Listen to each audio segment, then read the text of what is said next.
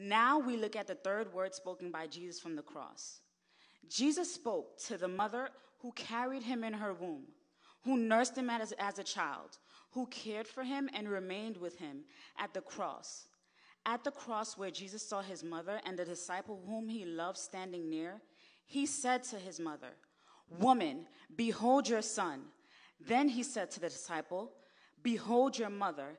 And from that hour, the disciple took her to his home. As Jesus is hanging on the cross and life is ebbing away from him, by the second, he is struggling to even breathe. He is struggling to speak. He's struggling to hang on for dear life. But yet, at this point of his greatest suffering, he still thinks of others. He sees his mother weeping by the cross and his disciple John filled with pain and agony. Instead of worrying about his own excruciating pain and suffering, he has others on his mind.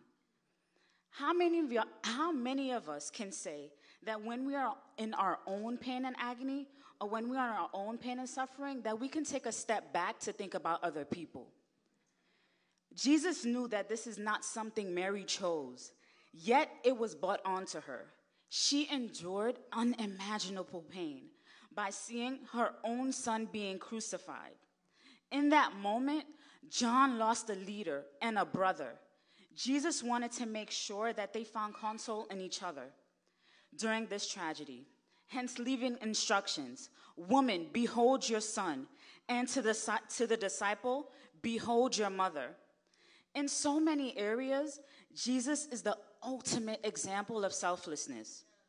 As it says in Mark 10 45, Jesus came not for his own benefit, but for ours. He came to minister for us and die for us. Even the Son of Man did not come to be served, but to serve and give his life as ransom for many.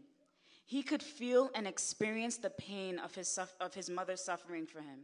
And out of concern and love for her, Jesus presented his dis- beloved disciple, John, to Mary and told John that Mary is a mother to him. Now, what this teaches us, you can be experiencing significant pain in your life that is in consuming your thoughts and emotions. But let these words spoken from Jesus Christ remind us that even in the midst of our greatest pain, we can still be concerned and reach out to other people around us who may be experiencing pain at all as, as well. Jesus became man to save us, but he wants to be present to us and care for us, not only in our joys, but also in our sorrows. Through his words and actions, he taught us to love one another. For if we love, we will reach out to care for one another in their needs and comfort each other through grief, hardship, and pain.